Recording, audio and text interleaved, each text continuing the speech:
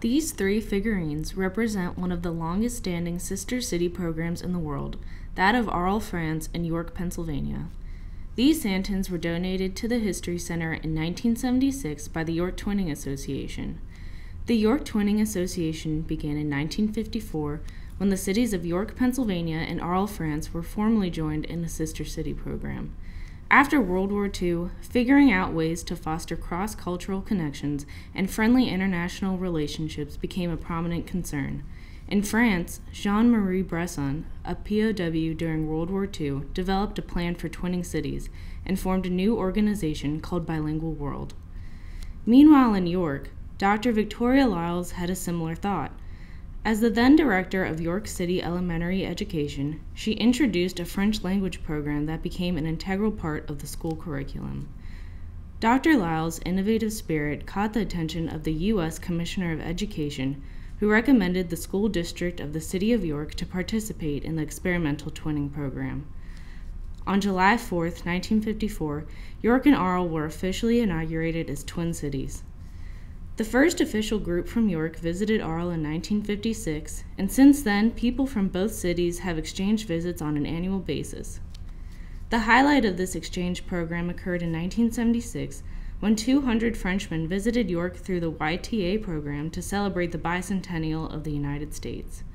At this time, construction was newly completed on the reproduction of the colonial courthouse, and the Santons, along with other objects from Arles, were donated from members of the York Twinning Association to commemorate this event.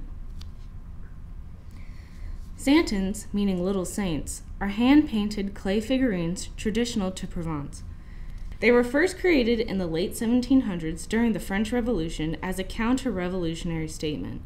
When the churches were closed and the display of nativity scenes were banned, people began to secretly create small figurines in their own homes in order to carry on their beloved tradition. The figures often represent local people and their various trades of work. At first, Santons were mainly made in Marseille. However, the practice eventually moved to the Aubagne region of Provence, where the clay was more durable. Early types of santons were air dried, making them brittle and susceptible to breakage. But today, the creation of santons has evolved to give these figures a much longer lifespan. The typical process for creating a santon involves these steps. First, the artist will mold the figure from clay. Then, they let the figurine air dry and finish it in a kiln. Some artists also soak the figurine in gelatin to make the surface harder in order to create a better base for painting. The final step is decorating, where the artist either hand paints and or clothes the santon. Today, creating santons is a highly competitive craft, where artists continue to carry on family traditions and techniques passed down through generations. The santons we have displayed here are stamped M. Chave. Marius Chave is a celebrated Aubagne santon maker. Born in 1909, Chave was self-taught and created his first models in 1935 he created Santons for over 75 years, and today the family tradition is carried on by his grandson. Since these Santons are ceramic and are clothed, optimal storage conditions include an environment where they are protected from fluctuations in temperature and humidity, and where they are in minimal contact with dust, pollutants, and insects. Extreme changes in temperature can promote the development of cracks. High temperatures can also darken any stains that might exist on the surface.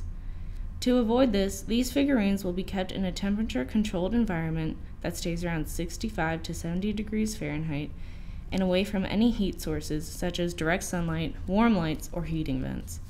To prevent the fabric from damage, we will gently wrap the figurines in tissue and then place them in a sealed archival quality bag. The santons will then be placed in an acid free box that is padded with foam to cushion the ceramics from any abrasions or breaking.